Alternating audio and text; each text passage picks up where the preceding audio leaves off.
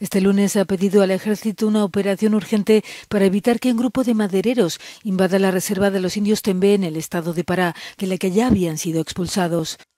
Por consejo médico, Jair Bolsonaro no podrá asistir a la cumbre de este viernes de los países amazónicos en la ciudad colombiana de Leticia para acordar medidas conjuntas contra estos incendios. El presidente brasileño será sometido el próximo domingo a una nueva operación de hernia, la cuarta, desde que fuera apuñalado en el abdomen durante la campaña electoral el año pasado, aunque esta intervención no le impedirá, asegura, asistir a la Asamblea General de Naciones Unidas de mediados de este mes.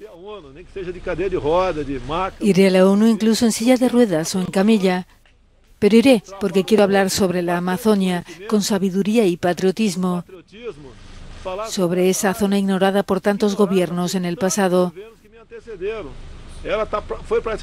No aceptaré limosnas de ningún país bajo el pretexto de preservar la Amazonia cuando está siendo dividida en lotes y vendida. La popularidad del dirigente ultraconservador sigue bajando. Para un 38% de los encuestados lo está haciendo mal o muy mal. Su gestión de esta crisis constituye otro punto de división entre los brasileños.